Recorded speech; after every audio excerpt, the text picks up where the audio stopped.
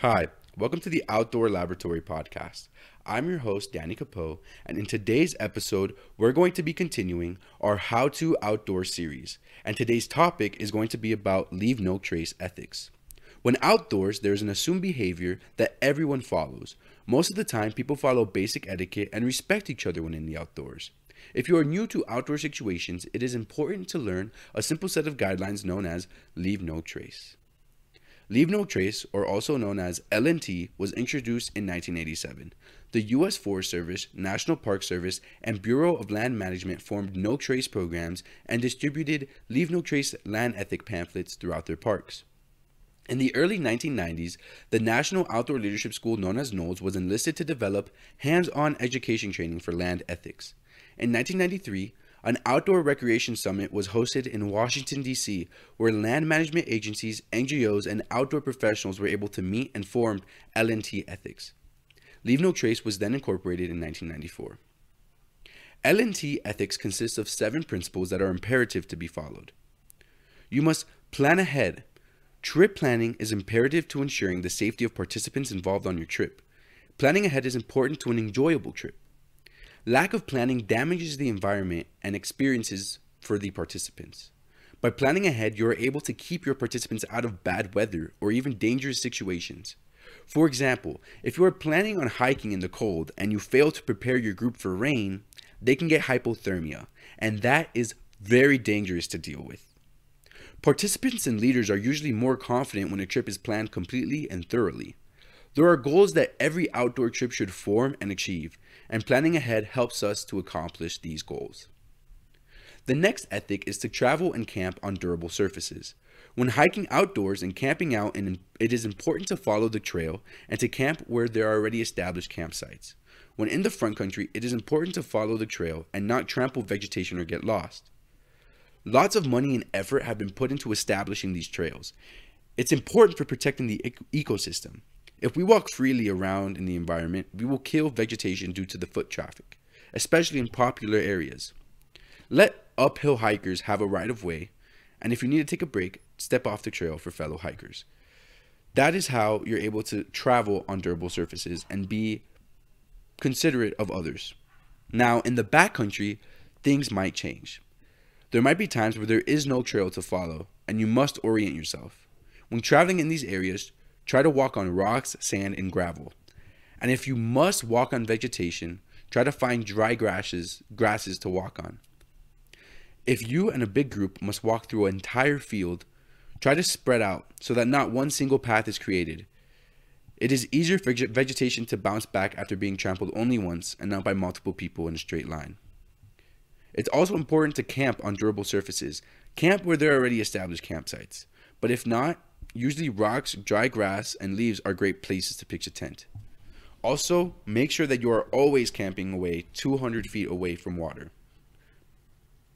The next ethic is to dispose of waste properly. If you pack it in, pack it out. It's that simple, guys. There is no reason for you to be leaving your trash in outdoor areas. Too many times I see cans, bottle caps, plastic bags, and food wrappers where they don't belong. And that is something that can be minimized. It's simple. Put it back in your bag when you're done with it. Also, guys, I'm going to be frank with you. Bury your poop eight inches deep. And if you're in a big group, dig one big hole. Yeah, guys, it might sound gross. Well, it's not. You're outside. Pooping is as natural as the outdoors, okay? You need to bury your poop and you need to take your, your toilet paper with you, okay? Pack that stuff out. Bring a Ziploc bag with you. Yes, I said it. I said it, guys. That might sound gross. Too bad, so sad. There's no excuse for you to be leaving any type of trash outdoors. It's that simple. And this takes me to my next ethic that I want to share with you. Leave what you find. There's a cliche that says, leave nothing but footprints and take nothing but pictures. And that cliche is very, very true.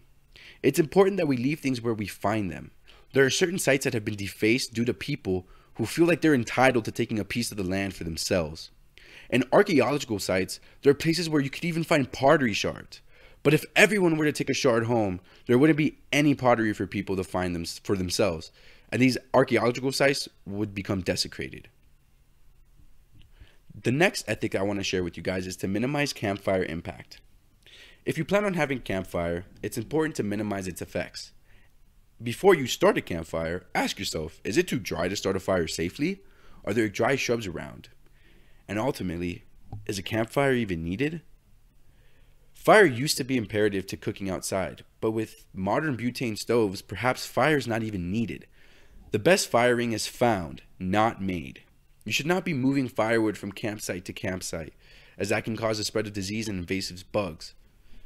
There's a famous saying that says, buy it where you burn it. And that holds true. That's the only way that we can keep our woods safe from invasive species from other places in our country. Because if you say that you were to drive from the east coast with some wood and come all the way out to the west coast and burn that wood here, there might be things in that wood that the west coast plants have not ever seen and they will die because they will not have the proper immunities to face these diseases that are found on the west coast because they've never had to face those diseases.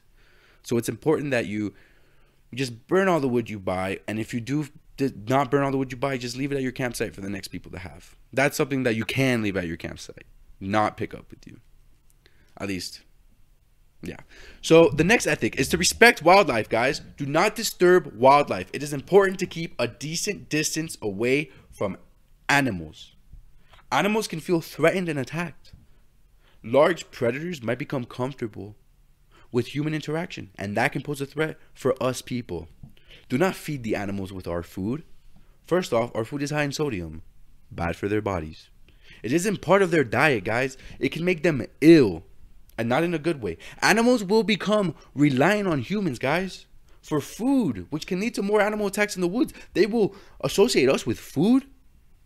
We are not calories to them. We shouldn't be considered that. We don't want to get attacked by these large animals.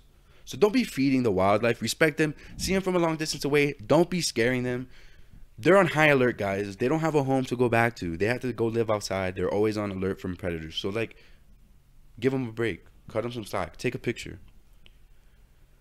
The last ethic that I want to share with you guys is to be considerate of other visitors. To me, this is one of the most important land ethics out of all of them, guys.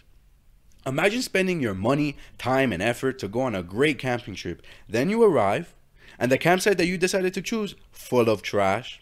The neighboring camp, they stay up to 11 playing loud music. People want to feel solitude. They want to hear nothing when they're outside. They don't want to be hearing your playlist. Don't play music out loud. Keep your conversations to a low decibel. Pick up your campsite when you leave. Make sure to respect all of your visitors when you're in the outdoors. Keep the experience of others in mind and don't be rude. The outdoors is a place to be communal, a place to share. Okay? It's also a place to be peaceful, not confrontational. Leave no trace is one of the most important things to happen to the outdoor and the outdoor community because we are no longer having to go around picking up after people, at least hopefully, if they follow these rules. These guidelines must be followed, guys, when you go venture outside. This is the best way to protect our outdoors for future generations to enjoy. So go out and experience it for yourself. Have a great day.